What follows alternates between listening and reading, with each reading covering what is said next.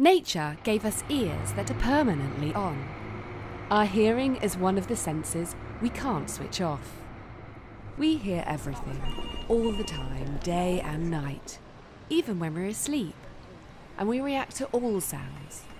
They're all taken care of and processed in one way or another. This is as it should be. Humans are designed to be outside. Our ears instantly tell us where sound is coming from and how far away it is. Strange sounds alert our caveman brain to danger. They get our adrenaline going, preparing us to fight or flight. But we're not living our lives outside anymore. Modern life is spent inside. And here, the rules are different. In a building, the only natural sound is the human voice. All sounds are distorted as they bounce off hard, flat surfaces, such as floors, walls, and ceilings.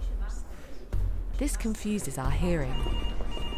Indoors, it's difficult to hear where dangers are coming from, or to hear what people say. We keep hearing the same sound again and again, as the noises echo around the room, not just once as our ears are designed to do. Sometimes sounds are great. They can make us happy. But when we try to listen or concentrate or go to sleep, the noises make us anxious or stressed or even angry.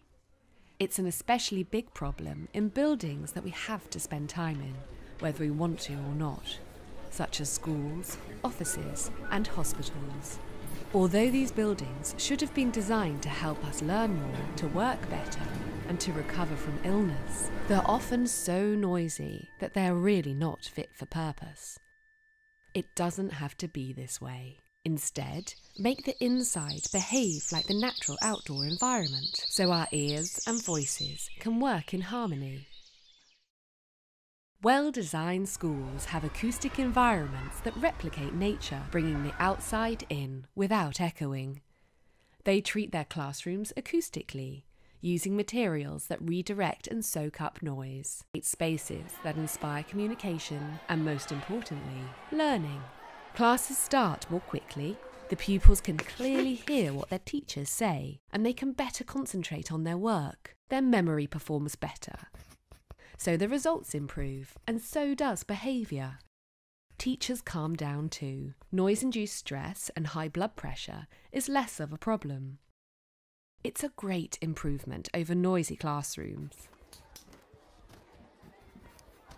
If the acoustics are poor, pupils seated on row 4 may miss up to 50% of what the teacher says. Working in groups also creates more noise. Pupils lose concentration and start to misbehave, chatting loudly instead of working. The teacher responds by shouting, so they get hoarse. Their voices suffer, and so does learning.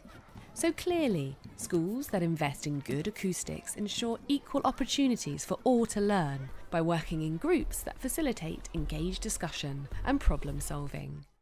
Such positive and inclusive teaching is less bossy and repetitive. It inspires pupils, engages teachers, and ultimately, society prospers. Open plan offices might resemble the great outdoors. There's a sense of space. These offices are meant to make it easier to collaborate, to communicate and learn from each other. Some people, especially extroverts, find them inspiring. They enjoy the buzz. But Open plan offices can be stressful, especially for introverts. To them, it's a bit like being on a stage. Being seen all the time is bad enough, but at least you can hide behind a screen or a plant. Sounds are harder to control. Speech is a major distraction. We're all curious, so we love hearing what other people are saying. And speech travels freely, around corners and over dividing walls. It bounces off the floors, walls, and ceilings. This makes it very hard to concentrate. Such noise pollution harms both people and profits. Distracted workers are not only unhappy, they're also less motivated and less productive. It takes a long time to return to deep concentration after being disrupted by noise. people can develop a form of tunnel vision as they no longer take in new ideas. They become less positive and stop thinking outside the box. Stress builds up, and so does the rates of sick leave. Companies who take acoustics seriously can avoid such costs. More demanding tasks, such as logical thinking, require better acoustic support. So, by investing in good sound planning, they can protect their most valuable asset, namely the people who work there. Natural light and a connection with the outdoors. They're common across the health sector, in hospitals, in clinics, in mental health facilities, and in care homes for the elderly. This is because doctors and nurses know that healing is enhanced by environments that mirror nature, thus making people feel calm and safe. Good acoustic works the same way, and that's especially important here, not least because more than half the patients are over 60. Two out of three people between 60 and 70 have reduced hearing. Some hospitals and care homes have taken acoustics seriously because they know noise can be incredibly damaging to patients and residents. Patients find it hard to fall asleep in noisy hospitals. And it's obviously not easy to get quality sleep when a lot of noise tells their subconscious they're in danger.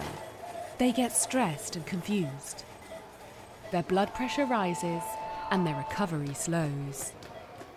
Understanding what people are saying is also difficult when bleeping sounds and distant conversations bounce around between hard floors, ceilings, and walls. And not being able to understand speech leads to withdrawal, self doubt, and depression.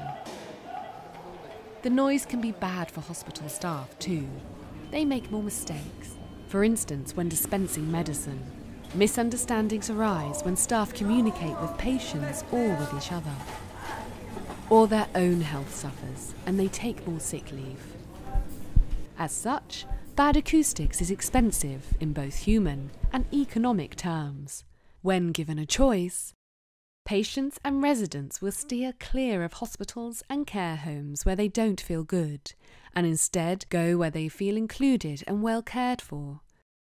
Hospitals and care homes that take acoustic planning seriously benefit, and so do their patients and residents. To feel included and changing our buildings to make sure they do will support everyone, not just those who are hard of hearing or communicate in a second language. Good acoustics make people feel happier and healthier. Society benefits as people learn, work, and heal better. As they're no longer distracted by noise, they're also more proactive and productive.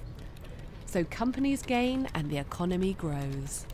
And when people and companies produce more with less input, they also help create a sustainable world.